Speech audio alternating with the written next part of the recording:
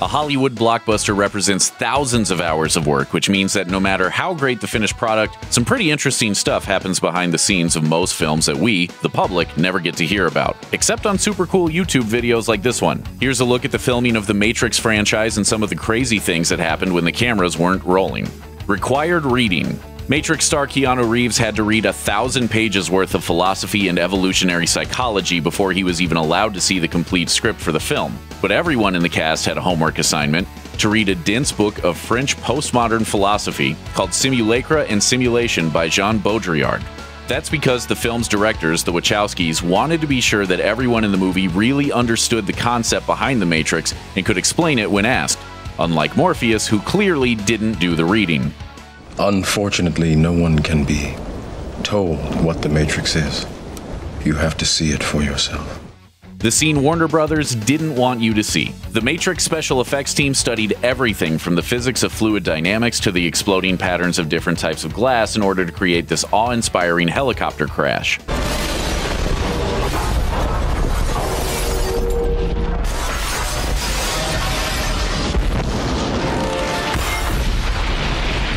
But the whole thing almost didn't happen. Just researching the scene took so much time, money, and work that Warner Brothers tried to have it cut from the movie entirely. Fortunately, the Wachowskis' passion won out and the helicopter crash stayed in, using just about every kind of special effect available at the time.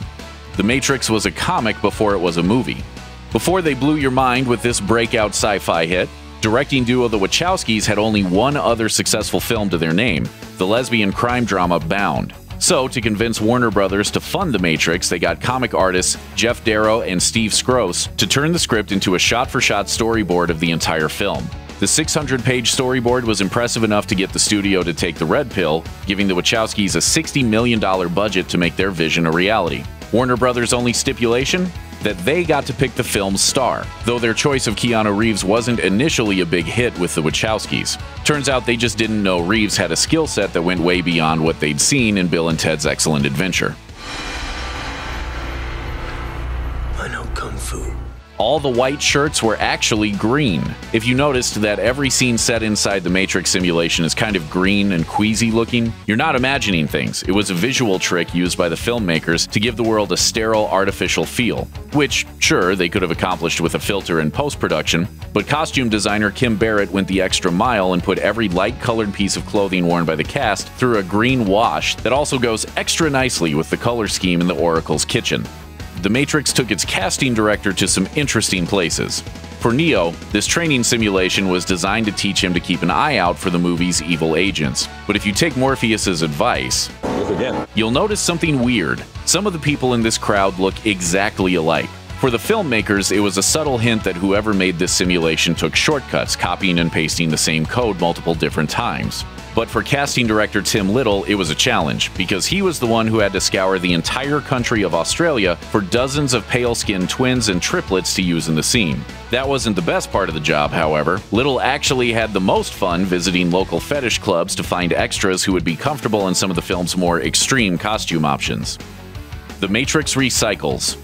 Back in the day, the sets constructed for The Matrix Reloaded and The Matrix Revolutions were among the most ambitious ever built, like the one and a half mile stretch of fake highway that was built from scratch for this chase scene. But it didn't go to waste. 97.5% of the materials used in the final two Matrix movies were either recycled or repurposed to build low income housing in Mexico, which means that someone is probably sitting in a living room right now where the very walls are imbued with molecules of Keanu Reeves' kung fu sweat. Hugo Weaving's Epiphany. One of the best parts of The Matrix Reloaded is the Burly Brawl, where Neo battles an army of clones of the evil Agent Smith. This scene was partially accomplished through CGI, but it was mostly done by making up a herd of stuntmen to look just like actor Hugo Weaving. And unfortunately, this awesome movie moment shattered any illusions Weaving had about his receding hairline. Talk about a bad way to find out that you're going bald. Here I'm looking at everyone from the side and go, ah! look, look how far it's gone. Keanu Reeves gave away a lot of Matrix money. Despite what you may have heard, Keanu Reeves didn't donate his entire salary to the movie's special effects crew, but he did sign away his residual payments forever in order to funnel money back into the trilogy's production. Nobody knows exactly how much money Reeves passed up in order to give the crew another two movies worth of job security, but it would have been in the millions. We'll give you a second to let that sink in. He is the one.